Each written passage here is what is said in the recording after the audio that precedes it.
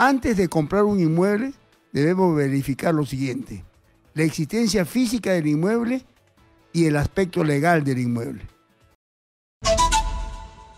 Vamos a ocuparnos de cómo realizar la compra-venta de un inmueble.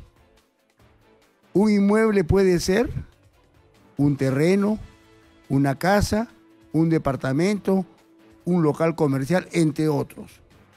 Antes de comprar un inmueble, debemos verificar lo siguiente. La existencia física del inmueble y el aspecto legal del inmueble. Pero, ¿por qué es importante verificar el aspecto legal del inmueble? La verificación del aspecto legal sirve para conocer quién es el verdadero dueño del inmueble, es decir, verificar quién es el propietario registral. Corroborar los problemas legales del inmueble, es decir, conocer si el inmueble está embargado, hipotecado o con alguna medida cautelar, que puede ser judicial, administrativa o arbitral. Es necesario precisar que la existencia de estas medidas no impide la transferencia del inmueble. Para verificar el aspecto legal del inmueble debemos solicitar un certificado literal, una copia informativa. Estos documentos los podemos obtener de dos maneras.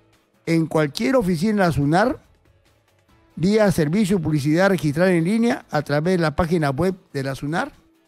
En ambos casos, tanto para poder solicitar un certificado literal o como para solicitar una copia informativa, debes brindar la siguiente información oficina registral en la que esté inscrito el inmueble, indicar lugar donde se encuentre inscrito el predio, número de partida registral.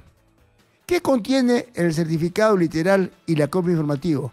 Ambos documentos contienen historial del inmueble, todos los actos que se han realizado en el inmueble, nombre del propietario, los trámites pendientes sobre la propiedad, ¿En qué situación necesitamos una copia informativa o un certificado literal?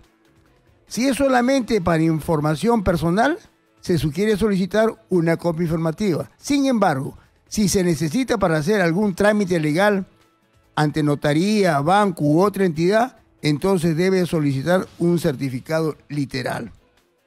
¿Qué debemos hacer para iniciar un trámite de compra-venta del inmueble? Para iniciar el trámite de compra-venta, el comprador y el vendedor deben acudir ante una notaría con la siguiente información. Comprador, certificado literal y su DNI. Vendedor, acreditación como dueño de la propiedad, declaración jurada del impuesto predial, más el DNI. En la notaría se redacta la escritura pública que contiene la minuta o documento de compraventa.